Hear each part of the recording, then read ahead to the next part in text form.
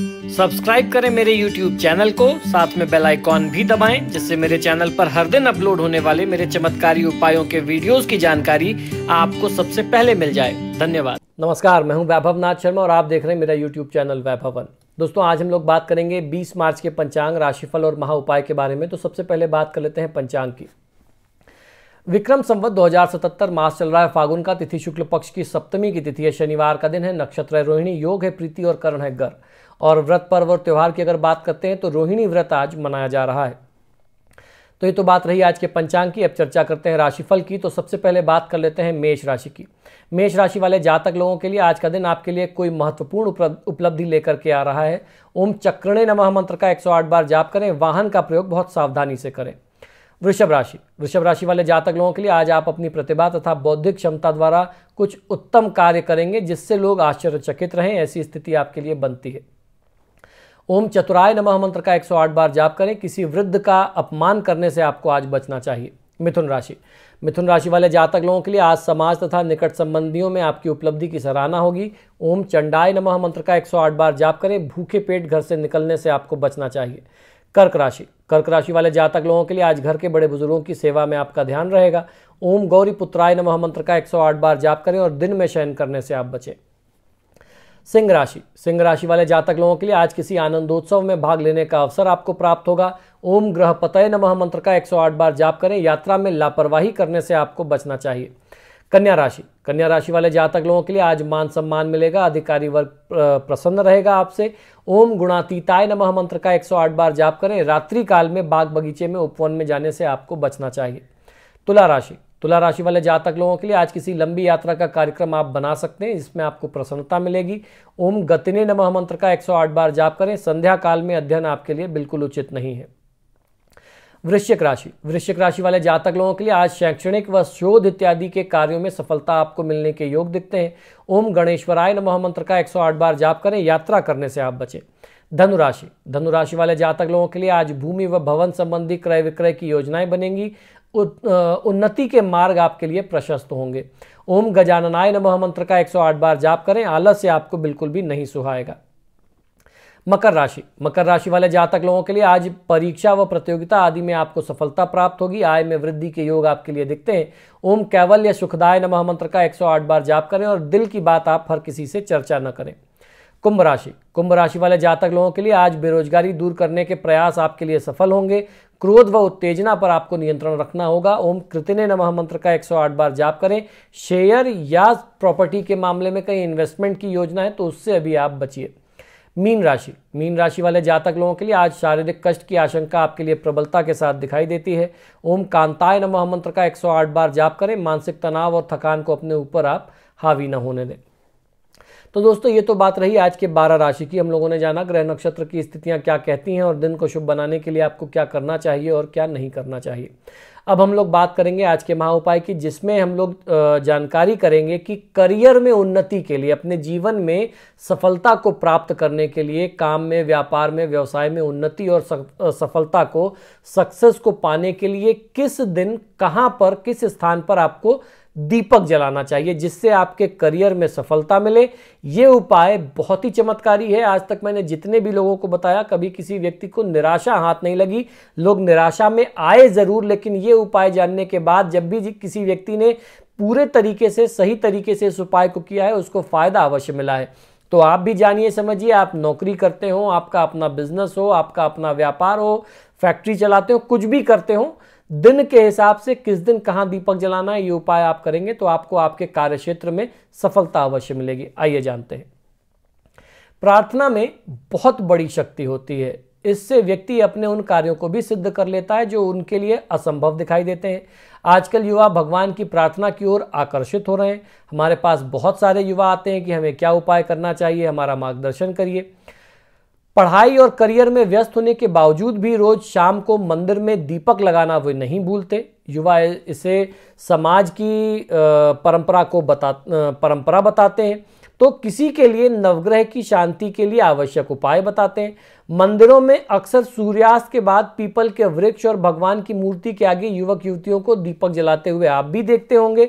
तो आपको भी ये समझ लेना चाहिए कि अपने करियर को ऊंचाई पर ले जाने के लिए, अपने दुर्भाग्य को दूर करने के लिए आपको किस दिन, किस स्थान पर दीपक जलाना चाहिए?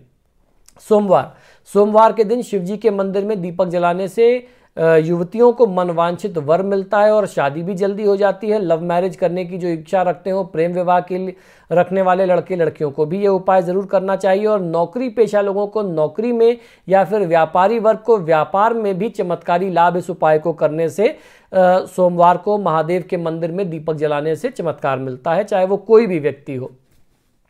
मंगलवार मंगलवार के दिन हनुमान जी या फिर गणेश जी के मंदिर में और इसके साथ साथ पीपल के वृक्ष के नीचे देसी घी या सरसों के तेल का दीपक, तिल के तेल का दीपक जलाने से हेल्थ और फिटनेस तो मिलती ही है। साथ ही साथ आर्थिक तंगी, ऋण यानी कर्ज की स्थिति, अचानक दुर्घटना आदि से भी आपको मुक्ति मिल जाती है।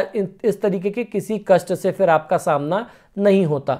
जिनकी जिन बच्चों को पढ़ाई में मन न लगने की समस्या रहती है, उनको मंगलवार के दिन हनुमान जी के मंदिर में और गणेश जी के सामने जो है, दीपक जलाने से चमत्कारी परिणाम की प्राप्ति होती है।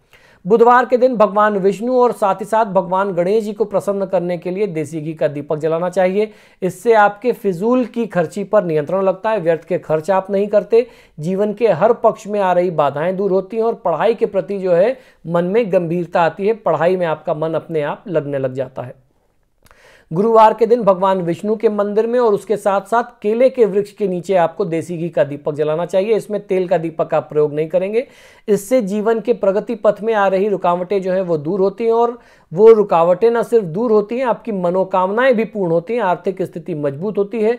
भगवान विष्णु को प्रसन्न करने के लिए देसी घी का दीपक जो है वो भगवान विष्णु के सामने और केले के पेड़ के नीचे दोनों जगह पे अगर आप लगाते हैं तो बहुत ही चमत्कारी परिणाम देता है। इसी तरीके से शुक्रवार को देवी दुर्गा या फिर माता लक्ष्मी के मंदिर में देसी घी का दीपक जलाना चाहिए। समस्त मनोकामनाओं की पूर्ति करने वाला ये टोटका होता है। इससे सौभाग्य की भी वृद्धि होती है। इससे रूप की, सौंदर्य की भी प्राप्ति होती है। सौभाग्य, ऐश्वर्य की भी प्राप्ति होती है। तो देवी के मंदिर में आपको दीपक लगाना है। वो देवी दुर्गा भी हो सकती हैं, लक्ष्मी जी भी हो सकती हैं। किसी मंदिर में अगर दोनों हो तो दोनों के सामने लगा दीजिए। अगर आपके आसपास, घर के आसपास कोई भी एक देवी का मंदिर है, जहाँ दोनों नहीं है या कोई भी एक है तो आप एक के सामने लगा सकते हैं। दोनों उपलब्ध हैं तो दोनों के सामने लगा दीजिए। इसी तरीके से शनिवार, अशुभ शनि, राहु केतु और मंगल से प्रभावित लोगों को हनुमान जी और पीपल के वृक्ष के नीचे सरसों के तेल का दीपक जलाना जो है वो जीवन की हर अड़चन को दूर करने वाला उपाय माना जाता है। खासतौर पर कर, करियर से जुड़ी हुई जो उलझने हैं गंभीर रोग से संबंधित अगर कोई पीड़ा है दुर्घटना से सुरक्षा आप चाहते हैं धन की कमी अगर स्थिति ऐसी आ रही है तो इस उपाय को करने से धन की कमी दूर होती है रोगों से आपकी सुरक्षा होती है दुर्घटना से आपकी सुरक्षा होती है और खासतौर पर राहु केतु शनि मंगल के जो अशुभ योग या दुष्प्रभाव आपकी कुंडली में बन रहे हैं उनसे आपको मुक्ति मिल जाती है। शनिवार के दिन हनुमान जी के मंदिर में पीपल के वृक्ष के नीचे सरसों के तेल का दीपक, तिल के तेल का दीपक या चमेली के तेल का दीपक, इन तीन में से किसी भी एक तेल का दीपक आप जला सकते हैं। इससे अशुभ ग्रहों के नकारात्मक प्रभाव से शांति के साथ साथ नौ ग्रह तथा तैंतीस कोटि, तैंतीस प्रकार के देवी देवताओं के आशीर्वाद आपको मिलते हैं। उनसे आपको सफलता की प्राप्ति होती है। जिन बच्चों का मन पढ़ाई में ना लगता हो, उनको ये उपाय ज़रूर कर लेना चाहिए। तो दोस्तों, आशा करता हूँ कि शास्त्र से जुड़ी हुई बातें, ज्ञान की बातें जो आपको मेरे यूट्यूब चैनल से प्राप्त होती हैं, वह निश्चित ही पसंद आती होंगी। आप सभी से बार बार आग्रह है कि जब भी आप मेरे वीडियोस देखते हैं तो इनको लाइक और शेयर ज़रूर करें। और आपने अगर अभी तक मेरे चैनल को सब्सक्राइब नहीं किया तो प्लीज़ इसे सब्सक्राइब करिए। इसी शुभकामना के साथ कि आपका दिन शुभ हो। मुझे आज्ञा दीजिए और देखते रहिए मेरा यूट्यूब चैनल वैभवन नमो नारायण। मित्रों, आप देख रहे हैं मेरा यूट्यूब चैनल वैभवन। हर दिन अपलोड होने वाले मेरे चमत्कारी टोटकों के लिए मेरे चैनल को सब्सक्राइब करें और टाइमली अपडेट्स के लिए बेल आइकॉन को भी दबाएँ, जिससे नए वीडियोस की जानकारी आपको समय से प्राप्त हो सके। धन्यवाद। मित्रों, यदि आप अपनी किसी भी व्यक्तिगत समस्या के लिए मुझसे परामर्श और समाधान चाहते हैं, यानी आप अपनी किसी भी पर्सनल प्रॉब्लम के लिए मुझसे कंसल्टेशन और रेमेडीज चाहते हैं तो उसके दो तरीके हैं। टेलीफोनिक कंसल्टेशन फ़ोन पे बात करना और दूसरा फेस टू फेस यानी पर्सनल मीटिंग के करना।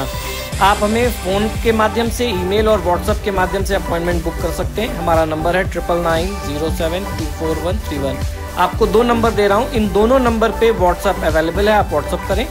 Nine eight one eight three double zero one four six ये हमारे ऑफ़िस का दूसरा नंबर है। अगर आप हमें ईमेल करना चाहते हैं तो आप हमें ईमेल कर सकते हैं। हमारी ईमेल आईडी नोट कर लीजिए। S H A R M A dot Vaibhava V A I B H A V at the rate Gmail dot com पर। इस पर आप हमें ईमेल भी कर सकते हैं। मित्रों, आजकल फ़ोन कॉल्स बहुत ज़्यादा हैं और मुझे भी मालूम है आप लोग कॉल करते हैं फ़ोन रिसीव नहीं होता तो आप भी निराश होते हैं। ऐसे में ईमेल और व्हाट्सअप करना सबसे बेहतर तरीका है। धन्यवाद।